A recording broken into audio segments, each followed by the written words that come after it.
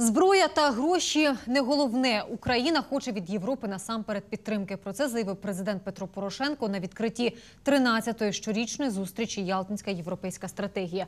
Він запевнив, що заради миру на Донбасі Кримом не торгуватиме. Крім того, президент анонсував звільнення з полону бойовики Володимира Жемчугова, який підірвався на розтяжці, втратив обидві руки і рік просидів у застінках терористів. На відкритті зустрічі ЄС побувала Яна Брензей. Мистецький арсенал це бенями не упізнати. Один з ключових культурних майданчиків країни перетворився на майданчик дискусійний, причому загальноєвропейського масштабу. Тут от-от відбудеться відкриття 13-ї щорічної зустрічі Ялтинської європейської стратегії. До арсеналу сходяться впливові гості – політики, бізнесмени, культурні і громадські діячі. За два дні форуму участь у ньому мають взяти більше ніж три сотні лідерів думок з усього світу. Це дуже важлива конференція, тому що вона демонструє нашу підтримку Україні. Це визначальна причина, чому я тут. Дискутувати про глобальні проблеми учасники ЄСу починають ще до відкриття форуму.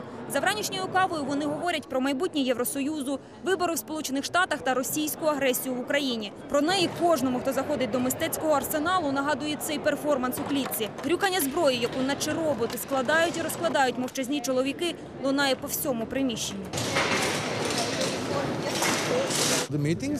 Становище в Україні завжди чільна тема цих зустрічей, але цього року ще й багато говоритимемо про ситуацію у світі. Утім, разом із відомими державними діячами в цьогорічному форумі вперше візьмуть участь і молоді лідери та регіональні політики. Для них відбудеться окрема міні-конференція, адже саме вони, на думку організаторів, відіграють одну серед найважливіших ролей у процесі реформування України. Запрошуємо вас у конференційну залу. Відкриває 13-й ЄС традиційно засновник Віктор Пінчук. Проте його вступному слову передує моторошний відеоролик із апокаліптичним сюжетом. Вселенський шторм змиває цілі міста. На порозі такої катастрофи, на думку Пінчука, наразі стоїть західний світ. Утім, навіть за такої ситуації Україна не має випадати із поля зору західних лідерів. Деякі люди на заході цілком можливо хочуть сконцентруватися на розв'язанні своїх глобальних криз. Вони хочуть стерти Україну зі свого короткого списку глобальних криз. Це неправильно. В Україні не локальна, а глобальна криза. Цю думку підхоплює президент Петро Порошенко. Він виступає майже годину. Багато говорить про дестабілізаційну роль Росії. Її президент порівнює з носорогом із п'єси абсурдиста Ежена Йонеску. Гібридний носоріг уже на наших вулицях. Він руйнує все на своєму шляху: цінності, принципи, демократію. Ми дискутуємо, звідки взявся той носоріг. Він хороший чи поганий. Ми це робимо замість об'єднатися і сказати, що носоріг нам не потрібен, і нас у носорогів не перетвориш. Порошенко неодноразово наголошує: напад Росії на Україну це напад на західну цивілізацію, на її цінності. Тому українські солдати гинуть на Донбасі не тільки за свої домівки. Зі зброєю в руках вони захищають наш суверенітет, нашу свободу і нашу демократію. Ні, пробачте, це не так.